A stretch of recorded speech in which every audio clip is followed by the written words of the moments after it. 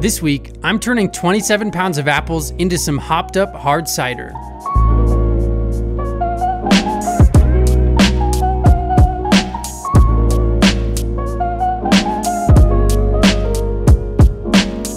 These days, craft cider's everywhere and the variety is out of this world. Barrel aged cider, wild cider, fruited cider, the options are limitless. I'm aiming for a dry cider packed with hoppy flavors. And for the second year in a row, I'll be using home pressed apple juice to get there. It's become somewhat of an annual tradition for my girlfriend Meg and I to go apple picking in the fall, and last year, I used some of those apples to make my first home pressed hard cider. Unfortunately, a late freeze damaged much of the apple crop here in Colorado this year, and when we visited our favorite U-Pick orchard, they didn't have any tart apples for us to take home. Luckily, while visiting family in Ohio a few weeks ago, we were able to snag three different varieties of apples that are just what we need. Now, let's make some cider.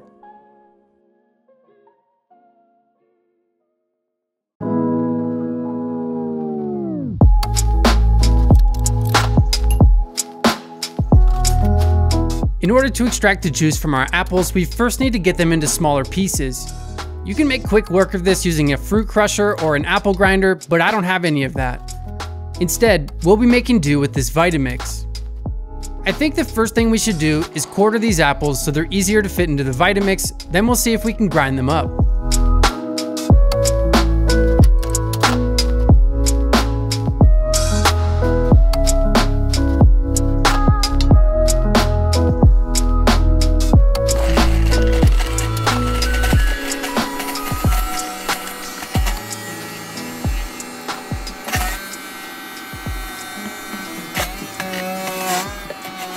Shit.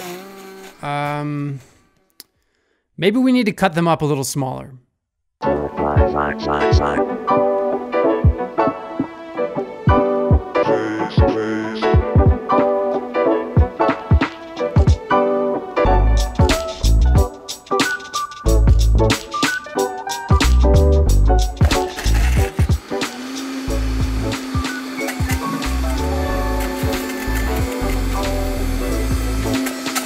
Okay. Yes. All right, this is gonna work fine. Meg's gonna cut each apple into about 16 pieces and I'll keep jamming them into the Vitamix until all the apples are ground. Let's do this.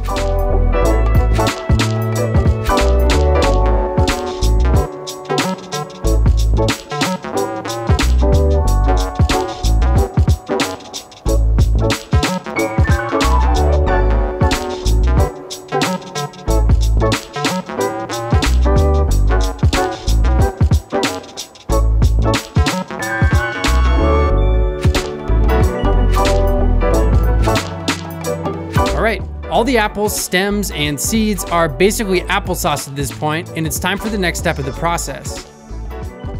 After cleaning this little fruit press, we're adding a mesh bag and the apple puree. Now, all I need to do is add some wood blocks to the top and start pressing in batches until we've extracted all of the juice.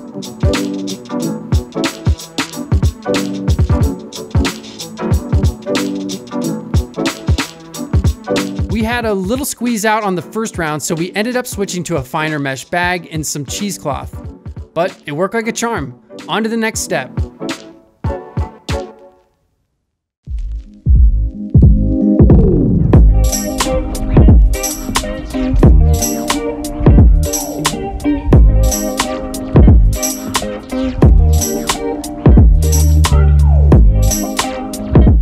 Collected about two gallons of juice from our apples, and my plan is to heat pasteurize the juice to kill any wild yeast or bacteria that might be in there, and I'll also add some hops. At this volume, this would work just as well on a stovetop if you don't have something like this. While we make our way up to 170 degrees Fahrenheit or about 77 degrees Celsius, I need to head inside and take care of a beer I made a while back. Let's check it out.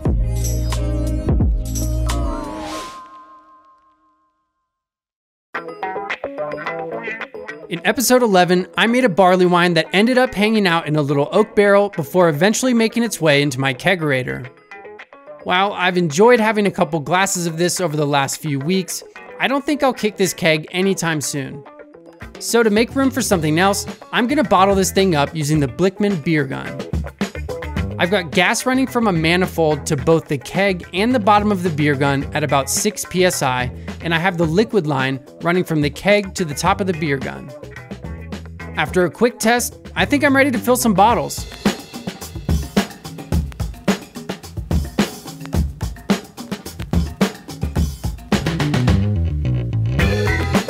The top lever purges the bottle of oxygen by releasing some CO2, and then the trigger fills the bottle from the bottom.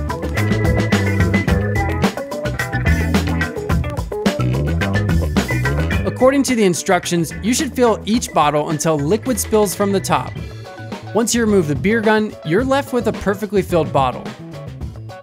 Then, all I need to do is shuffle down to my capping station and slam a cap on.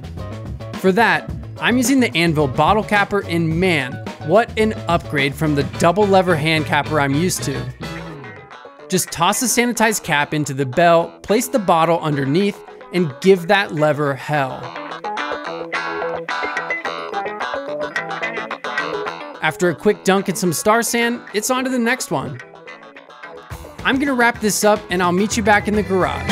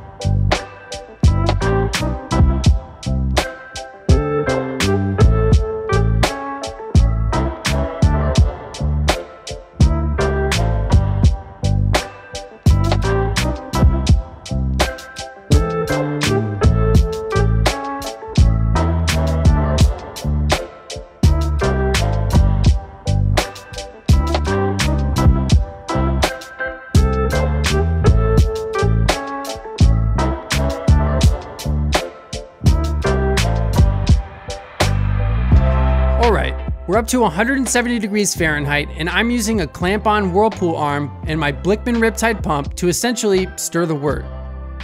Now for some hops. Here's 14 grams of Falconer's Flight, 14 grams of Citra, and 1 ounce of Galaxy. I'm also adding one Whirlfloc tablet. Now, I'll just let this whirlpool for about 30 minutes and then chill the cider down to pitching temperature.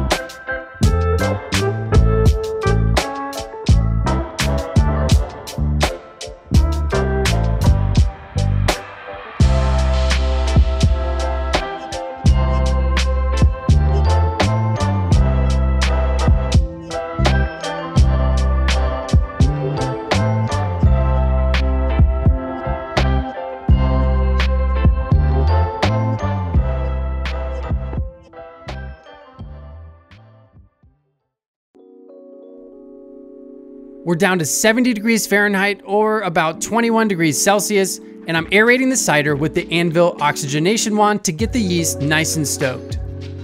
For this cider, I'm using WLP 715, which has a pretty neutral character, and I'm still debating if I should throw something funky into the mix after a few weeks of fermentation.